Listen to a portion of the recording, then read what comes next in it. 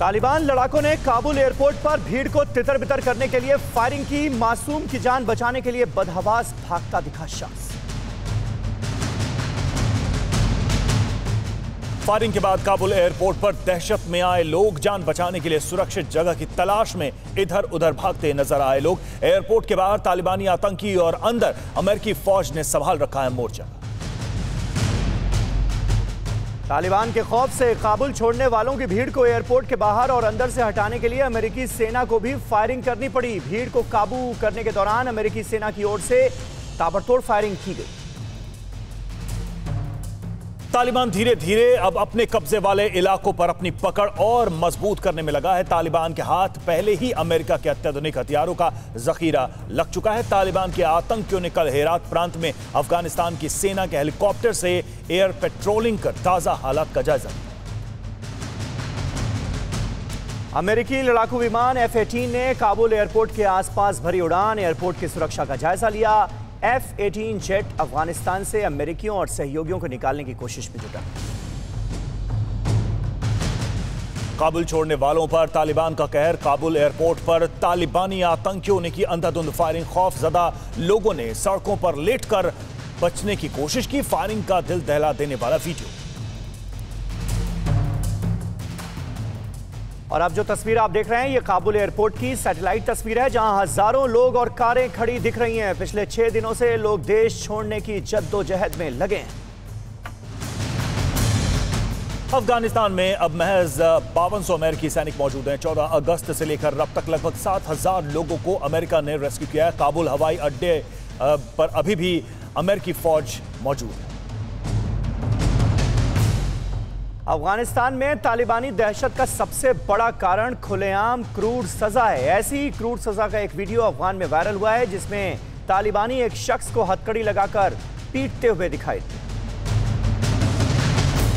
तालिबान कहता कुछ है और है और करता कुछ और है। अफ़गानिस्तान पर कब्जे के बाद तालिबान की क्रूरता का एक वीडियो सामने आया है। बदगीस प्रांत में सरेंडर कर चुके पुलिस प्रमुख हाजी मुल्ला को हाथ पैर बांधकर तालिबानियों ने गोलियों से छलनी किया वीडियो। कर सकता है विचलित दुनिया भर से मान्यता लेने के लिए अब तालिबान सॉफ्ट होने का ढोंग रच रहा है। अफ़गानिस्तान का झंडा लेकर जा रहे शख्स को महज थप्पड़ मारा और झंडा छीनकर छोड़ दिया। तालिबान शासन के खिलाफ महिलाओं ने खोला मोर्चा अफ़गानिस्तान के झंडे लेकर लगाए नारे हमारा झंडा हमारी पहचान।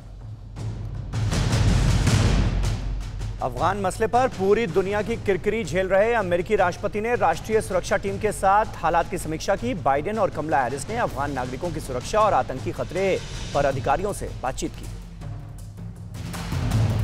विदेश मंत्री एस जयशंकर ने यूएनएससी की बैठक में अफगान संकट पर दिया बड़ा बयान। पाकिस्तान का नाम लिए बगैर कहा, कुछ देश आतंकवाद की मदद कर रहे हैं, जिन्हें रोकना होगा। आतंकवाद का महिमा मंडन नहीं होना चाहिए। अफ़गानिस्तान पर चर्चा के लिए नाटो ने आज बुलाई बैठक। तीस देशों के विदेश मंत्री शामिल होंगे। वीडियो कॉन्फ्रेंसिंग के ज़रिए होने वाली इस बैठक की अध्यक्षता नाटो के सेक्रेटरी जनरल जेंस स्टोल्टेनबर्ग करेंगे। अफ़गानिस्तान को लेकर भारत की विदेश नीति पर बोले पूर्व विदेश मंत्री और टीएमसी नेता यशवंत सिन्हा, कहा 2021 का तालिबान 2001 जैसा नहीं भारत को खुले दिमाग से विचार करना चाहिए। काबुल में दूतावास खोलना चाहिए और राजदूत को वापस भेजना चाहिए। बाइडेन ने तालिबान को लेकर दुनिया को किया आगाह कहा समझौते के बावजूद तालिबान नहीं बदला। अफ़गानिस्तान पर कब्जे के बाद वो अस्तित्व के संकट से गुजर रहा है। अफ़गानिस्तान वार पर ब्रिटेन की टिप्पणी के बाद तालिबान ने प्रिंस हैरी को कहा कायर इससे पहले ब्रिटेन ने अफ़गानिस्तान वॉर की तुलना वीडियो गेम से की। अफ़गानिस्तान में महिलाओं और बच्चियों की सुरक्षा के लिए अमेरिकी विदेश मंत्री एंटनी ब्लिंकन ने अपील की है। ब्लिंकन ने कहा है कि अफ़गानिस्तान में बिगड़े हालात पर अमेरिका की नज़र है। अफ़गानिस्तान में तख्ता पलट के बाद लगातार हालात बिगड़ रहे हैं। रूसी राष्ट्रपति पुतिन ने तजाकिस्तान के राष्ट्रपति इमोमाली रहमोन से फ़ोन पर बात की और अफ़गानिस्तान में बिगड़े हालात पर चर्चा की।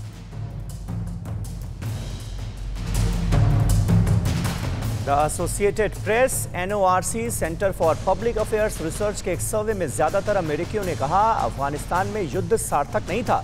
राष्ट्रपति जो बाइडेन की विदेश नीति को सैंतालीस फ़ीसदी लोगों ने बिल्कुल सही ठहराया। राष्ट्रीय सुरक्षा को लेकर बावन फ़ीसदी लोगों ने उनके काम को सराहा।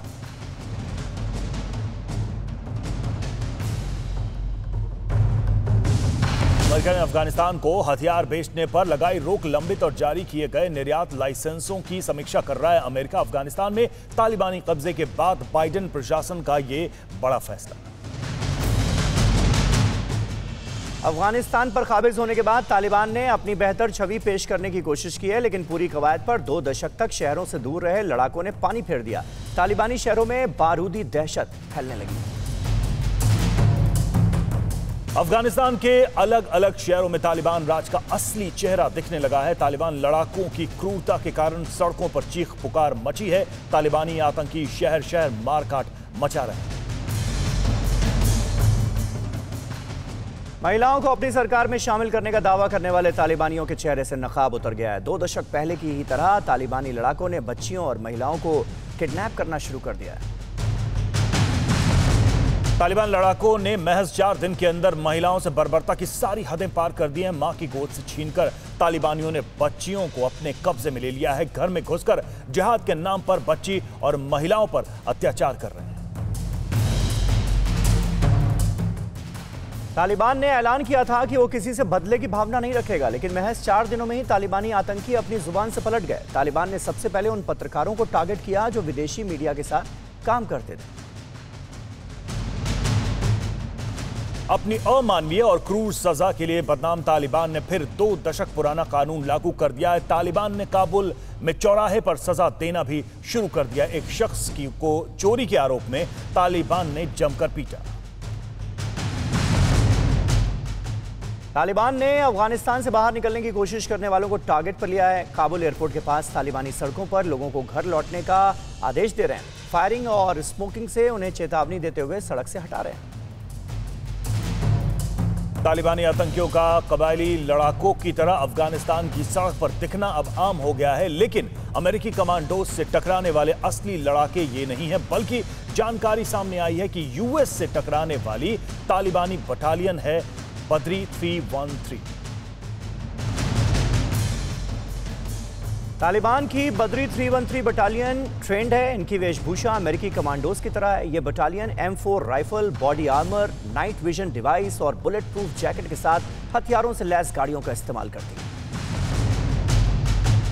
इस वक्त अफ़गानिस्तान की राजधानी काबुल में प्रेसिडेंशियल पैलेस की सुरक्षा की ज़िम्मेदारी तालिबान की बद्री 313 बटालियन के पास है और यही बटालियन आने वाले दिनों में कुछ ऑपरेशंस को अंजाम देने की तैयारी में है। अफ़गानिस्तान में सरकार गठन से जुड़ी एक एक्सक्लूसिव जानकारी टीवी नाइन भारतवर्ष के पास आई है। खबर के मुताबिक अफ़गानिस्तान में लोकतांत्रिक सरकार नहीं, बल्कि तालिबान काउंसिल काम संभाल सकती है, जिसका हेड हैबतुल्ला अखुंदजादा हो सकता है। खबर के मुताबिक अफ़गानिस्तान में तालिबानी काउंसिल ठीक उन्नीस सौ छियानवे से 2001 तक काम करने वाली काउंसिल की तरह होगी और Haibatullah Akhundzada head of supreme council होगा। यह पद राष्ट्रपति के बराबर माना जाता। है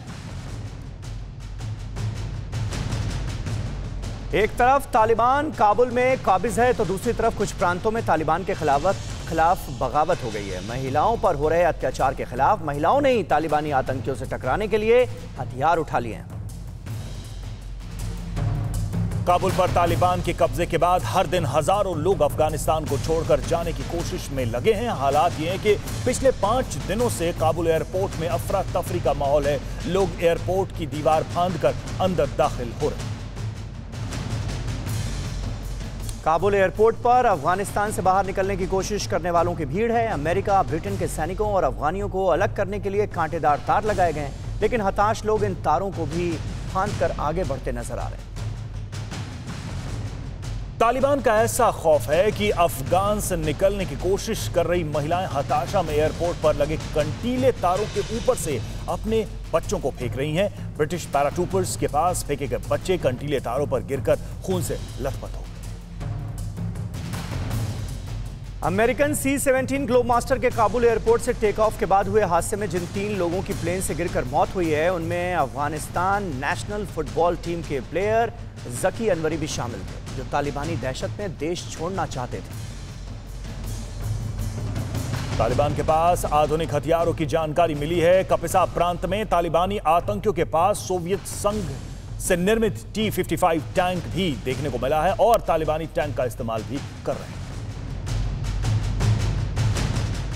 खबरों के मुताबिक तालिबान के पास सोवियत निर्मित जो टी 55 टैंक है, वो अफगान आर्मी से छीने गए हैं। लेकिन ये जानकारी हैरान करने वाली इसलिए है क्योंकि दो दशक से अफगान फोर्स अमेरिकी हथियार ही इस्तेमाल कर रही थी। अफ़गानिस्तान में कॉन्ट्रैक्टर का काम करने वाले लोग दहशत में हैं। ये वो अफगानी हैं जो अमेरिका के लिए ट्रांसलेशन एयरक्राफ्ट मेंटेनेंस जैसे काम करते थे। ये सभी तालिबान के टारगेट पर हैं। अमेरिका की सेना अब महिलाओं को अफ़गानिस्तान छोड़ने में मदद कर रही है। अफ़गानिस्तान की मशहूर पॉप स्टार आर्याना सईद को भी सी सेवेंटीन विमान से अमेरिकी फौज ने दोहा पहुँचा दिया। अफ़गानिस्तान में नेटो के मुख्यालय को नष्ट कर दिया गया है। अमेरिका ने भी अफ़गानिस्तान छोड़ने से पहले सभी ज़रूरी कागजात और डेटा खत्म करवा दिया था। नेटो दफ्तर के कंप्यूटर्स अब कूड़ेदान में नज़र आ रहे वहीं अफ़गानिस्तान के हेरात प्रांत में लड़कियों के स्कूल खुल गए हैं। लड़कियाँ आराम से स्कूल जा रही हैं, लेकिन सवाल यह कि तालिबान ये सिर्फ़ दिखावे के लिए कर रहा है या सचमुच तालिबान अपनी नीति इस बार बदलता हुआ नज़र आ रहा है? तालिबान के खोस्त सिटी में कर्फ्यू लागू कर दिया है। बुधवार को खोस्त में कुछ लोगों ने अफ़गानिस्तान के झंडे के साथ तालिबान के खिलाफ प्रदर्शन किया था, जिसके बाद तालिबानियों ने लोगों पर गोलियाँ चलाई। अफ़गानिस्तान पर कब्जे के बाद अब तालिबान बेहद ताकतवर हो चुका है। तालिबान के पास एयरफोर्स भी है। तालिबान को अमेरिका का छोड़ा हुआ U H sixty Black Hawk helicopter भी मिल गया है। तालिबान के पास अब 11 मिलिट्री बेस मौजूद है। भारत ने अफ़गानिस्तान को तोहफे में M I twenty four helicopter दिया था। ये भी अब तालिबानियों के कब्जे में है। अफ़गानिस्तान की वायुसेना के पायलट्स की मदद से तालिबानी इसे इस्तेमाल कर सकते तालिबानियों को अमेरिकी हथियार इतने पसंद आ रहे हैं कि आतंकी अपनी ए के फोर्टी सेवन औने पौने दाम में बेचने लगे हैं। आतंकियों को अफगान सेना की एम फोर कार्बाइन और एम सिक्सटीन राइफल भी मिल चुकी है।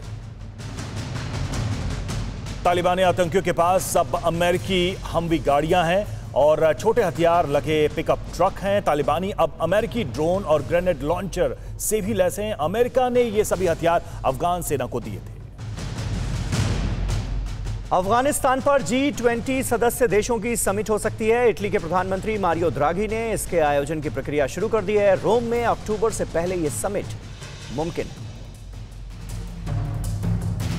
आज नेटो देशों के विदेश मंत्रियों की वर्चुअल बैठक हो रही है। बैठक में अफ़गानिस्तान के मौजूदा हालात पर चर्चा होगी और साझा नीति बनाने की कोशिश की जाएगी। अमेरिका, ब्रिटेन, कनाडा समेत 21 देशों ने अफ़गानिस्तान में महिलाओं की सुरक्षा को लेकर चिंता ज़ाहिर की। सोमवार से अब तक काबुल एयरपोर्ट पर अलग अलग घटनाओं में 40 लोगों की जान जा चुकी है। तालिबानी कमांडर्स के मुताबिक सभी मौत विदेशी सैनिकों की गोलीबारी और भगदड़ की वजह से हुई। अमेरिकी दूतावास ने कहा है कि अमेरिका की सरकार अपने देश के लोगों को सुरक्षित काबुल से निकालने में पूरी तरह से कामयाब नहीं हो पा रही है।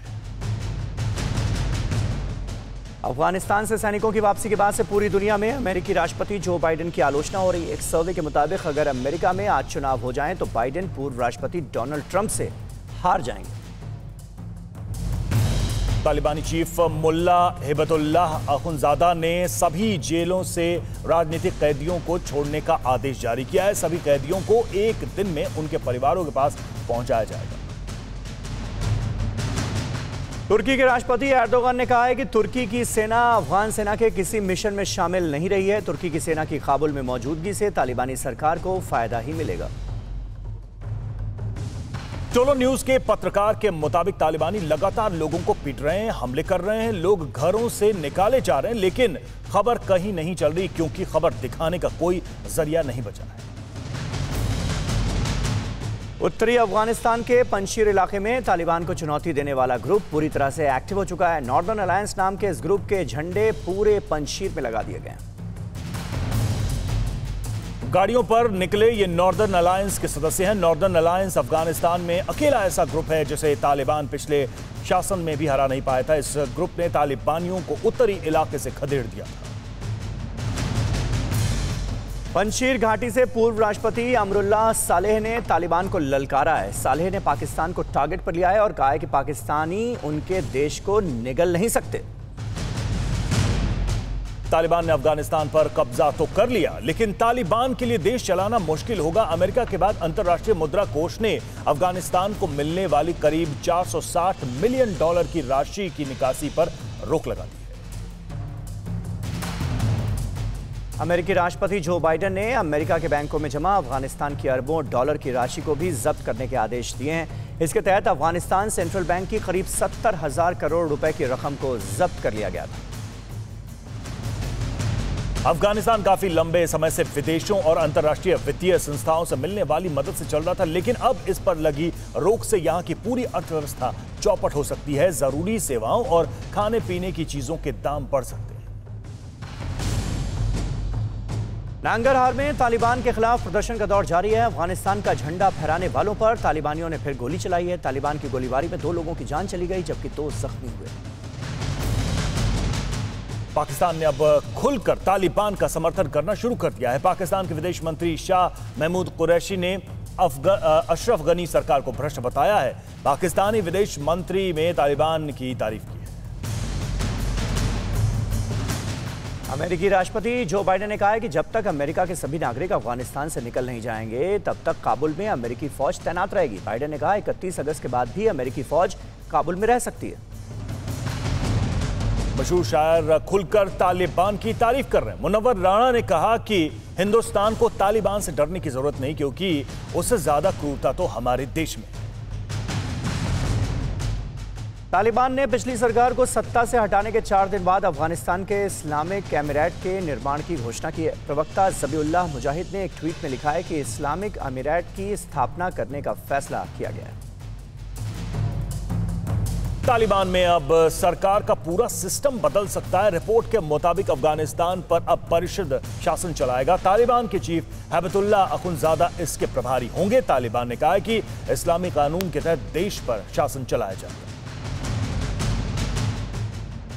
तालिबान की ओर से यह भी कहा गया कि अफ़गानिस्तान में लोकतंत्र नहीं होगा, शरिया कानून देश में लागू होगा। तालिबान नेतृत्व की एक बैठक में अफ़गानिस्तान को चलाने का रोड मैप अंतिम रूप लेगा।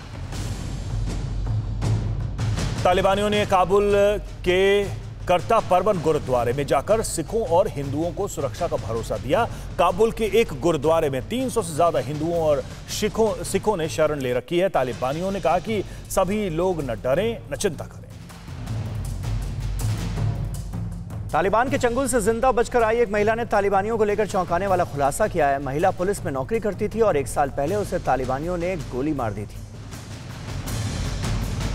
तालिबानियों के हमले में महिला दोनों आँख गंवा चुकी है और दिल्ली में इलाज करवा रही महिला ने बताया कि उसे कई गोलियाँ मारने के बाद चाकू से भी उस पर वार किए गए थे। महिला ने बताया कि तालिबानी मानते हैं कि महिलाओं में जान नहीं होती, वो सिर्फ़ पुतला है।